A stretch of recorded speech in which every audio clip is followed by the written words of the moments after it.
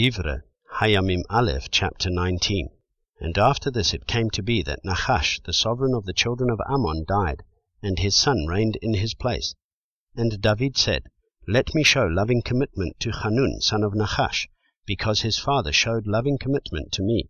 So David sent messengers to comfort him concerning his father. And the servants of David came to Hanun in the land of the children of Ammon to comfort him. And the chiefs of the children of Ammon said to Hanun, Is David esteeming your father in your eyes because he has sent comforters to you? Have his servants not come to you to search and to overthrow and to spy out the land? So Hanun took David's servants and shaved them, and cut off their garments in the middle, at their buttocks, and sent them away. And when some went and informed David about the men, he sent to meet them, because the men were greatly ashamed. And the sovereign said, Remain at Jericho until your beards have grown, then return.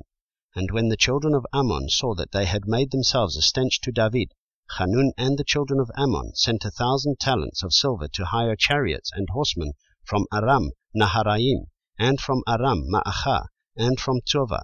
So they hired for themselves thirty-two thousand chariots, with the sovereign of Ma'achah and his people, who came and encamped before Medeba.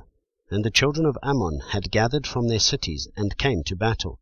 And when David heard, he sent Joab and the entire army of the mighty men.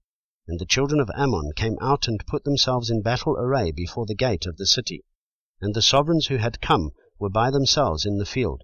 And when Joab saw that the battle had been set against him before and behind, he chose some of the choice ones of Israel, and put them in battle array to meet Aram.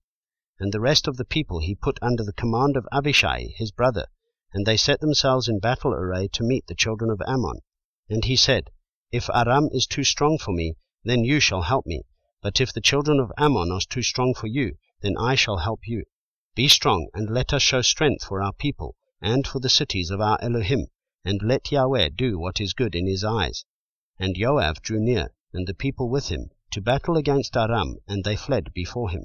And when the children of Ammon saw that the Arameans were fleeing, they also fled before Avishai his brother, and went into the city. And Joab came to Jerusalem.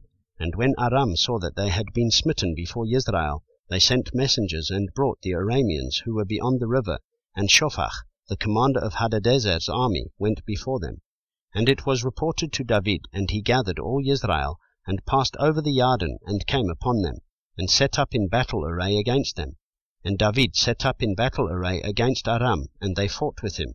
And Aram fled before Israel, and David killed seven thousand charioteers, and forty thousand foot soldiers of the Arameans, and smote Shophach, the commander of the army. And the servants of Hadadezer saw that they were smitten by Israel, and they made peace with David, and became his servants. And the Arameans would not help the children of Ammon any more.